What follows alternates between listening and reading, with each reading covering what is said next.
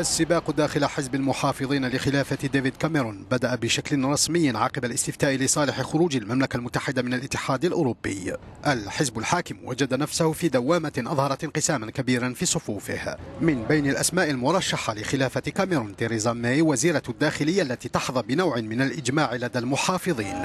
المرشح الثاني الأوفر حظا هو بوريس جونسون عمدة لندن السابق الذي كان أحد الأوجه الفعالة في الصف المؤيد للخروج من الاتحاد الأوروبي. وإلى غاية مساء الأربعاء كان ستيفن كراب وزير العمل المرشح الوحيد المعلن. كراب الذي أيد البقاء في الاتحاد الأوروبي أكد أنه لا يمكن العودة إلى الوراء ولن يكون هناك استفتاء ثان. بعض المصادر أشارت أيضا إلى إمكانية ترشح ليام فوكس وزير الدفاع السابق. وفيما يخص الوضع المتأزم لدى حزب العمال المعارض ديفيد كاميرون تحدث الأربعاء عن جيريمي كوربين قائلا ربما من مصلحة حزبه أن يبقى في منصبه لكن ليس في مصلحة الوطن. ما بيوسع قوله بحق السماء يا رجل ارحل.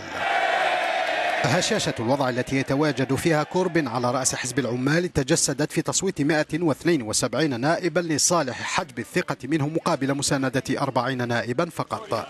كوربين الذي يواجه موجة واسعة من المعارضين في صفوف الحزب وجد حكومة الظل العمالية التي يترأسها شبه خالية بعد استقالة ثلثي أعضائها بسبب معارضتهم لبقائه ومن بين المرشحين لقيادة حزب العمال نجد أنجيلا إيجل المستقيلة من حكومة الظل وكذا توم واتسون نائب كوربين.